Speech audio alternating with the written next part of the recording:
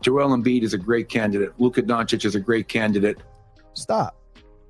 Luka is not a great candidate. How? Mike Malone didn't say this uh, three months ago. He said this yesterday. Right now, currently, Dallas is sitting in the ninth seed in the West. They in the ninth seed in the West, and the West is by far the weaker conference to the East because it, you can take the best team in the uh, West right now, which is Denver. If you put them in the East with their record, they're in fourth place. It's three teams in the East better than the best team in the West. Uh, Boston, Philly, Milwaukee.